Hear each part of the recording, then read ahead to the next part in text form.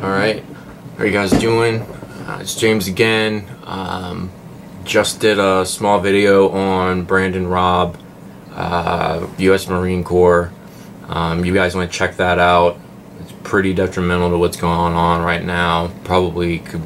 It's it's really just an interesting uh, interesting set of, of things going on, especially around me right now. Um, and it's it's actually going on around everyone. Want to move on to what this video is is basically going over, which is Zeitgeist. Uh, moving forward, as you know, there's been the regular Zeitgeist movie, um, which I saw years ago before I ever graduated high school. I mean, it was it really impacted my life. It was it was just the thought process behind it and a lot of people don't like it because it they feel like it attacks religion and I, I really don't feel that way per se I don't feel like it attacks religion. I feel like it opens your mind beyond religion. You know look past look past the borders of of the Bible per se. Um, not that you can't follow those instincts but maybe there are things out there that you're limiting yourself on um, in the world. Or maybe you don't understand someone else as well because you have limited your mind to to uh, the religion aspect. Now that being said everyone has their right to their own religion and their own faith and personally faith is is what it is. And anyone can have their own faith in anything and anyone and any ideal that's perfectly fine. You know i'm not here to, to judge anyone or anyone's religion that's fine. So but what the other part of what what is basically happened after that is it talks about how you know it, it kind of like a government banking industry is set in motion all this money but the money is really pointless. You don't really need the money. So basically all this all this movie uh, basically portrays is it just wants you to take your money and throw it back at the bankers and then we'll see what happens. Um, I can't say that we can just do that in this world. Um, unfortunately, we haven't come to a point where everyone, first of all, would do it, and second of all, there's too many. There's just too many different opinions on the matter in in in it in itself. Um, but to give you a quick breakdown of how the money situation works in this movie, they basically state that there's a bank, and the bank sets out loans and and you pay back loans plus interest. Well, there's only enough money there initially for what you needed the money for. So then there's this huge debt of interest at the end. There's no one there's nowhere to get the money from the interest. So basically someone gets gets screwed at the bottom. And that's why you have the caste system. It's because there's not nothing fair about the banking system. It's there's people up top doing nothing to make everything and then you're down at the bottom doing everything you can to make money and when you pay your interest on your taxes it pays for their salary every year because of your interest payments um, it's a very interesting find but um, not like I said not giving credit to anyone on any topic but what really really moved me about the movie um, and you guys check it out again it's Zeitgeist moving forward um, it looks like it was kind of brought out about the beginning of this year. Um, there's called the Zeitgeist Addendum that's kind of between the two. It's about a two hour movie. The new one is like three hours, but it, it's got all kinds of things in there about how your your brain develops as a child, how you move from child, uh, and actually from anywhere from the time you're actually a fetus, all the way up to your infant stage, to your adolescent stage, all the way till you get to an adult and, and what the purpose is and how we need to be, but we can't be the way we are because of the stress stresses in this world that lead from money and, and other things. But um, he basically throws out towards the end of the movie, within probably the last hour or so, that he comes up with this ideal okay so take the world and as if we hadn't settled it yet and now we have all these resources. We need to figure out how to gather all these resources and then set up separate cities around the world. And basically states that you know we have the uh, the technology now to have machines do all our work for us, which is why no one is finding jobs and things to that nature. Unemployment's not really getting any better. You're just seeing it across the, the world. It's just dropping, dropping, dropping, dropping, dropping. And you know, while it might get better for a couple of days or a month or a couple of months, it's going to go back down again because it's really just not going to get better because the economy, the economy is literally almost at a point where it can't recover because of that monetary system that I was telling you about from before. Uh, it all really ties together nicely, but um, in the end, he shows this great world where it's like we've settled these cities, and these cities are are built like circular, and they've got like different systems all the way spreading out. After they've spread out all the way, they've got like different levels like all the way like the middle is like your power source for instance outside of that you have like your industry where things are being built and then it talks about how construction, for instance, uses 40% of the world's resources right now. And it wastes a good majority of it because there's always leftover wood from building a home or, or bricks or whatever, and we don't reuse it, we just kind of trash it for the most part. So, um, it's very interesting to just re read up on this. I couldn't even go over it all, and I mean, it's a three hour movie, but um, it, it's really just it moved me to a degree that don't think I've ever been moved before. Um, if if you took the time to watch this, you would really get the better gist of it. I, I'm apologizing. I'm not just good. I'm just not good at explaining this to the degree that it needs to be. But there's just cities. They're placed sporadically throughout the world.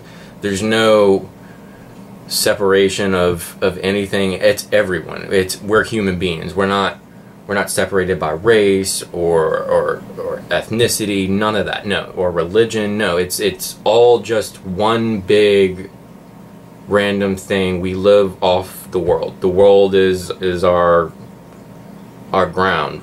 We come here.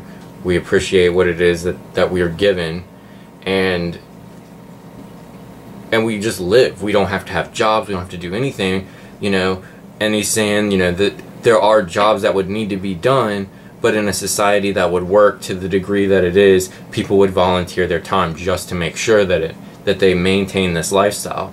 And I agree to that, but there's also going to be people out there that you you wonder, you know, are they ever going to help? It's it's a really great theory. It's a really great process the only thing that really kind of downsided me about it was it's like I love the theory, but at this point I really don't see how it could happen.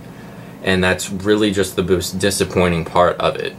Um, it's a great, great ideal, um, and and everyone can can really thrive from it. But there's so many people in the world who have their own beliefs and their own things that there's just no way that people would give up on that, even no matter how much it made sense to them, because they're they're they're bound by the borders of of their religion or their politics or or what have you. When this really takes all the borders away, there's nothing. It's just we are human beings at, in the world, and that was really cool to me because that's really a lot of what it is that I'm trying to get going here. Is you know I personally don't care if you have your own view on religion. That's fine to me. But I feel like there's still something out there that even in all of our differences, we can all come and agree on one thing. There's all there's got to be one thing out there that we all agree on that isn't some type of factual statement. You know, I'm sure that I could say, you know, we all live on planet Earth and there's some guy out there that's like, no, this is Mars. You know, that's got to be someone's ideal because someone's always got to be different. But there's got to be something out there. If everyone can be different, then everyone's got to be the same too because life is balance. You have light, you have dark, you have, you know, positive, negative, uh, good, evil, um, or good, bad. So it's, it's very just an interesting concept to me, and this this uh, exercise of the mind is, is really what gets me going, and, and I, I like it. So I think that if we can get more people on board, we can get this going. A lot of people need to check that out, and hopefully we can we can see what'll happen with with the uh, with the country and and I mean if we can change things at a country level I'd probably be content um, but I mean the fact of the matter is is we already have a lot more freedoms than the people in the entire world and even though we have these freedoms these freedoms are honestly still restricting in a sense you don't realize it but you go to work to pay your bills which go back into the money pot for the government. I mean, you're essentially a slave if you if you look at it in a specific way, or if you are open-minded on the on the subject. You know, some people would say they're not. We've also grown up with the idea. I personally have, and I feel this way that I need to work to make my own. When, in fact, it's like I'm. I really, you really don't have to. We didn't used to and there's so many different again this is another aspect you can pull from the movie they talk about how um, different cultures where there's you know less of a it, it just talks about how there's less of all kinds of crime there's less of different things in societies that run um, more equally it, people are more equal across the board then everything goes down that's negative you don't uh, you know, people are given jobs, but they aren't fighting amongst each other. They aren't mad. They aren't they aren't hostile types of, of people. And there are you know little groups of people out there like that, um, tribes for instance. But there's also hostile tribes out there. Um, most hostility is usually driven out of fear. Um, that is a fact. So it's really just because you don't you aren't sure what you know. So um, again thanks everyone for listening. Still working on some documentary stuff. Um, working on getting some of that put in motion. I just got this uh, letter that I've got to send off today. Um, for instance, the letter is for me to extend my unemployment process and it really pulls me over from the state side of things to the federal side.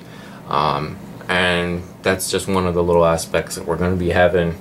It, it, actually timed out right for me for the video, but um, all kinds of stuff coming.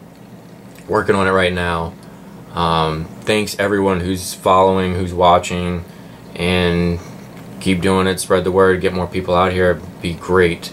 Uh, again, I appreciate you for uh, taking the time to to watch this and put any effort whatsoever and uh, hopefully we can keep you on board and get you get you uh, to get me some more people to watch here so we can kind of spread the word um, outside of that thank you. Um, sorry again just kind of got up a little bit ago. Um, but but just read this and, and thought I definitely need to get on here and, and do uh, some different videos today. Um, but thank you again and you guys take care. See you later